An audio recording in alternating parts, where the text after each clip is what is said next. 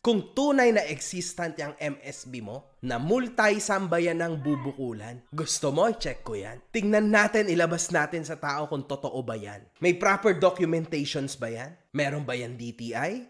Legit ba yung MSB? Legit ba yan? Meron ba yung SEC? Is it a soul? Or a corporation? Or a company? Ilan tao ang involved? Ilan tao ang empleyado mo? You don't know. Nagbabayad ka ba ng tax? BIR? You can say na hindi, online lang to. Doesn't matter. YouTuber nga nagbabayad ng tax eh. Ikaw pa kaya?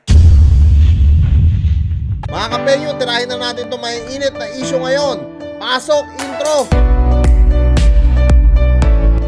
Hey yo, what's up sa inyo mga kampenyo? At today, meron na naman tayo napakainit na reaction video at pakikinggan natin yung part 2 ng banat nito ni uh, Makagago dito kay Franklin Miano at alam naman natin mga kapenyo na talagang binabanatan ni Makagago itong si Franklin ngayon at bukod sa minura nga niya to tinawag pa niyang Mongoloid etong si Franklin Miano at maski ang kaibigan nito eh nadamay na nga rin dito at tara mga kapenyo, wag na natin patagalin at sabay-sabay natin pakinggan etong mainit na banat ni Makagago. So what's up sa mga kahombre ko dyan? Makagago, what's up? Man na naman niya pala to. At syempre mga Yun, no? ko, alam nyo na to. Today is a good day. Kasi finally, bibigyan na natin ng magandang, hindi naman wakas, pero sobrang wakas. Sobrang Sobrang wakas. katapusan ang pinagagagawa ng biggest mongoloid in town.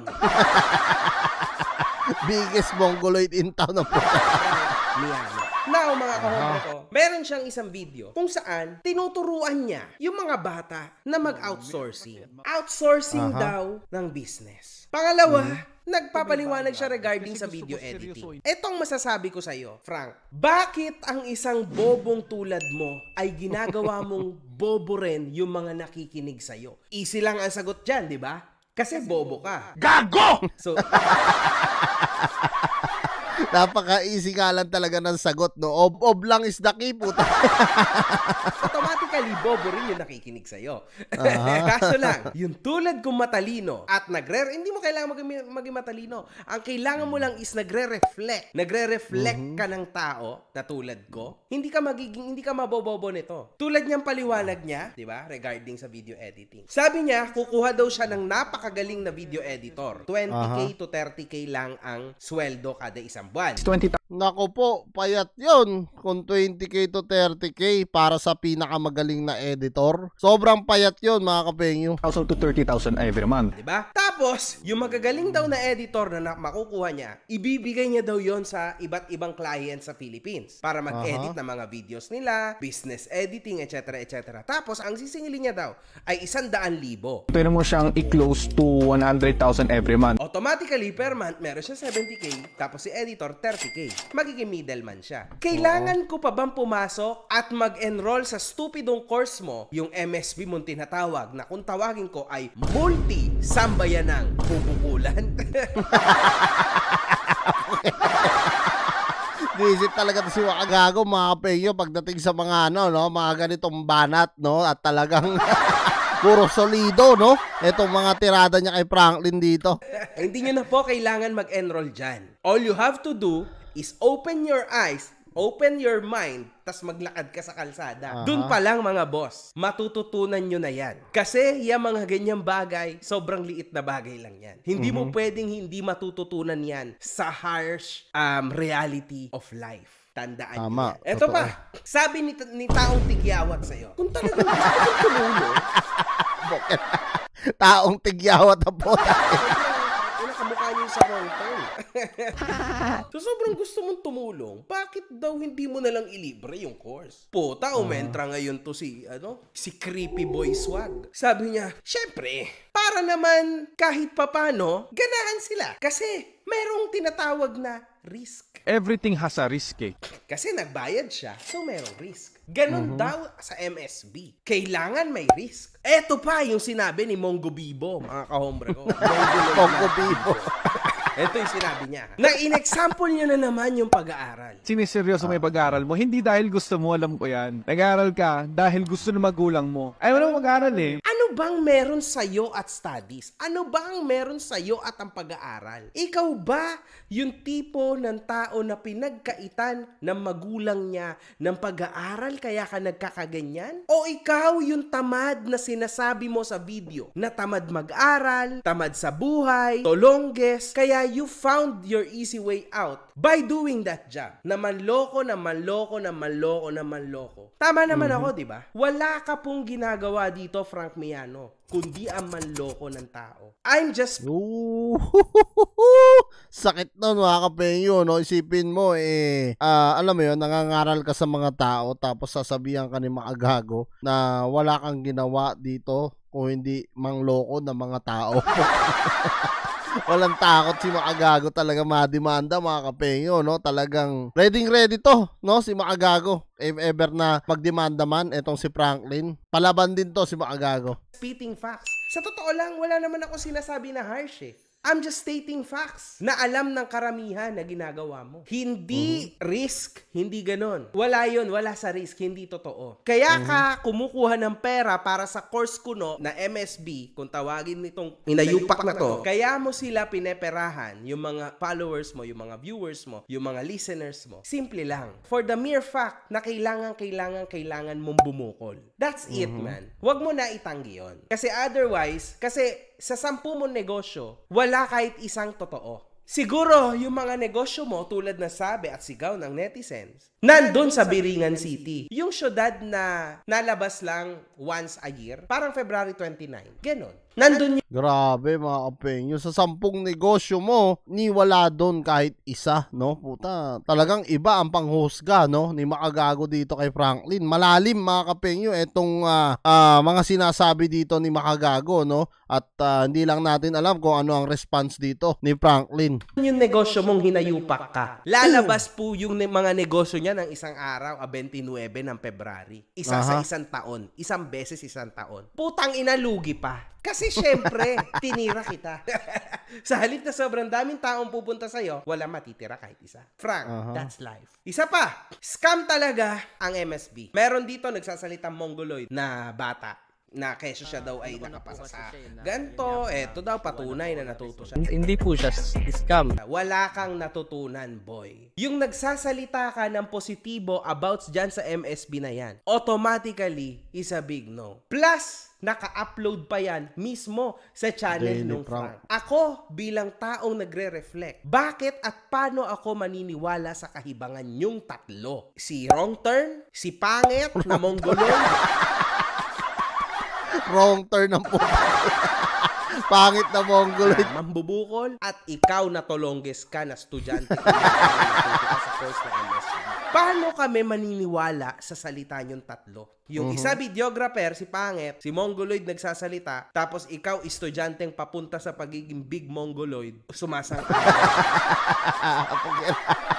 Kumbaga sa ano eh, parating pa lang, no? Parating. uploaded sa channel at sa account ng boss mo. Why should I believe you? You stupid fart. Kasi hindi ako bobo. Logic lang to mga kahombre ko. Nothing deep. Nothing big. This is just pure logic.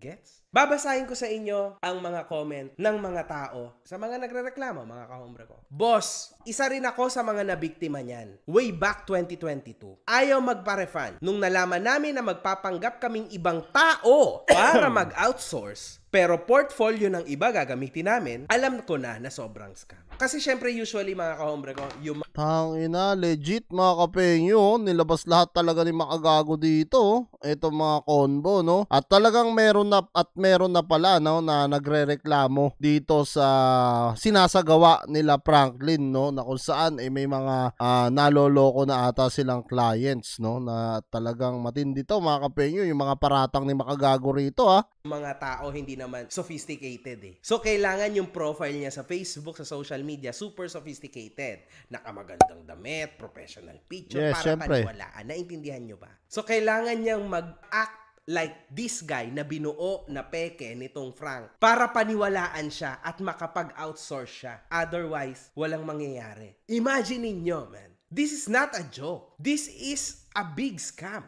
Real talk. Reality check, man. Ito pa.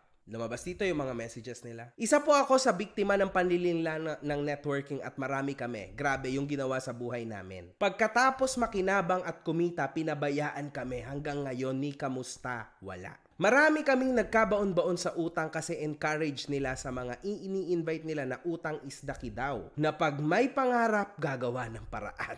Ah, stress! Ang galing din ng acting ni eh, mga gago eh, no? Pero alam nyo mga kapeyo, real talk, no? Kung talagang totoong ah, may scam na nangyayari rito at maimbestigahan ni Senator Rapi Tulfo to, eh delikado to mga kapeyo, no? De delikado talaga sila dyan. At lalabas at lalabas yung baho nila if ever, ha? If ever na may ginagawa silang kababalagan. Stress lang ang inabot namin ng mga kasama ko until now. Stress pa rin dahil nagbabayad kami ng utang na sila naman ang nakinabang. Ako din, boss. Nag-enroll. Pinaka natutunan mo lang is outsourcing na tinuturo niya pero hindi niya tinuro step by step kung paano magsisimula at kung paano yung strategy sa paghahanap nila ng clients. Puro basic lang tinuturo tapos meron na namang MSB Course 3.0 naman eh. Ang sabi niya sa 2.0 na daw ando na daw lahat. Tapos yung putang inang freebies na nasa Google Drive na worth 2 million daw na mga ebooks at e-learning courses, pucha, puro walang laman. Pero mag-iisang taon na ako sa MSB niya. Hanggang ngayon wala pa rin yung contents ng Google Drive.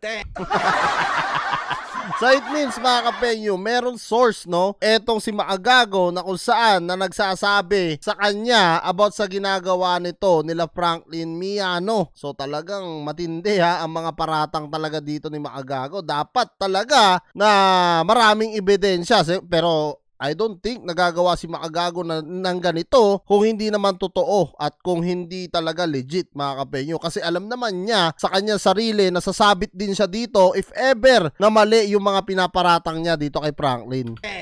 Now, meron akong sasabihin sa inyo. Para sa mga nagbigay sa akin na napakarami nila reklamo. Para po sa akin, kung tanga itong, itong si Frank, mas tanga po kayo. Kasi how come maniniwala kayo sa putang inan to? Sa taong nagsasabi, mga kahombre ko, na okay lang mangutang. Kung gusto mo talaga at interested ka, gagawa ka ng paraan para lang Oo. makapasok sa course ko.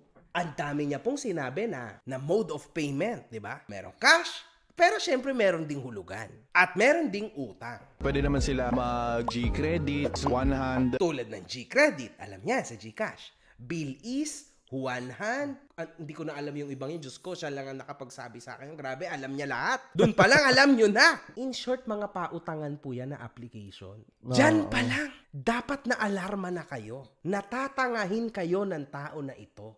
So, masama ang loob ko na naaawa kasi how come may naloloko pa rin ang mga ganitong kasimpleng scheme? This is a fucking simple scheme na kahit ata tama yung tao na grade 3, alam to, maiintindihan kung saan to matatapos. How come hindi mo yan nalaman? Because of your greed? Na gusto mong yumaman sa madaling paraan? Because of your stupidity? Na maniniwala ka? You need to fucking be real. Hard Totoo yan, yung mga sinasabi ni Makagago, mga kapenyo, no, na kung saan, eh, hindi ko naman nila lahat, no, pero napakarami sa ating mga OFW na talagang gusto mag-invest, lalong-lalo na do sa mga gusto mag for good, pero talagang pag-isipan din natin, 200% na mahirap talaga sumali sa mga ganitong networking or pyramid. Eh alam naman natin napakarami na pong nabalita na talagang ah, nagkaroon ng mga scam at ah, lalong-lalo na yung reaction video ko ng mga nakaraan na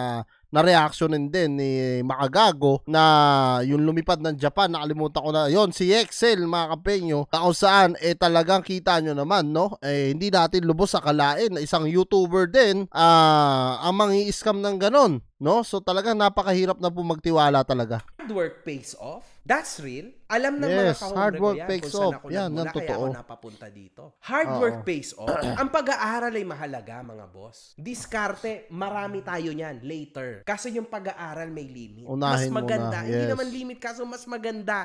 Mas Yung bata may ka matapos sa ka. pag-aaral. Sa habang Totoo. buhay, doon mo na matututunan yung Totoo yun. tinatawag para yumaman ka. Una sa lahat, pag ang mga taong nag-iimbita sa'yo video sa mga course, ay sasabihan ka na agad ng tinatamad ka mag-aral eh. Kaya ganito na lang gawin mo. Oo. Automatically, expo yun. O kaya kung gusto mo talaga, dapat gumawa ka ng paraan. Dapat mangutang ka kung talagang interesado ka. Nagpapabayad ako sa course na to, oh, hindi dahil sa, hindi dahil sa bubukulan ko kayo. Dito sa course na to, mag-aaral kayo kasi interested kayo. At dahil gusto nyo mag-take ng risk. Or else, wag na kayong pumasok dito sa akin. Doon pa lang X na mga boss. This is sad. Isa pa, to end this shit, hindi ka ba scam, Frank Miano? Gusto mo ipahanap namin kung tunay kang may documents? Kung Oo, putong ina. Ito yung pinakamatindi. No, ito yung bottom line na sinabi ni Makagago rito, no, na gusto mo ipahanap namin, no, kung tunay kang may documents. Puta, malupit to. Challenge dito, no, ni Makagago itong si Franklin Miano. Ito yung dapat talaga natin an- antabayanan mga kapeyo, kung ano nga yung magiging sagot ni Franklin dito. tunay na existent yung MSB mo, na Yun ang maganda.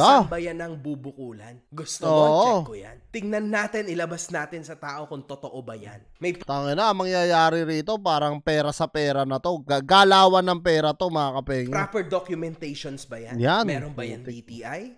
Legit ba yung MSB? Legit ba yan? Meron ba yung SEC? Is it a soul? Or a corporation? Or a company? Ilan tao ang involved? Ilan tao ang empleyado mo? You don't know. Nagbabayad ka ba ng tax? BIR? You can say na hindi, online lang to. Doesn't matter. YouTuber nga nagbabayad ng tax eh. Ikaw pa kaya? Oo. Do you give receipt to your students, kuno? Anong klase ng diploma ang ibinibigay mo sa mga estudyante mo? Is that approved by the Department of Education? Hindi, di ba? DepEd? Hindi. So how can you call yourself an educator kung hindi ka naman aprobado ng DepEd? So everything is a tama. mistake. The world is falling apart. It's over. You're done. Wala ka na maloloko dito, man. It's over. Sana yung mga tao hindi na magpakatanga. Hindi na magpatanga. Nakikiusap ako sa inyo. Use your freaking damn head. One love. So yan mga kapenyo, ano nga masasabi nyo dito sa napakainit na mensahe na naman ni Makagago kay Franklin. At hanggang ngayon mga kapenyo eh, hindi pa rin sumasagot ito si Franklin. Habang hindi siya sumasagot eh lalo siya nalulubog sa kumunoy dito sa mga pinagsasabi sa kanya ni Makagago. At kayo mga kapenyo, naniniwala din ba kayo dito sa mga sinasabi neto ni Makagago kay Franklin Miano na nangi-scam o nanloloko nga raw? Comment nyo na lang down below lahat ng mga opinion nyo mga kapenyo at lahat-lahat po yan mababasahin ko. Maraming maraming salamat mga kapenyo at kita kasi lang tayo sa susunod kong reaction videos.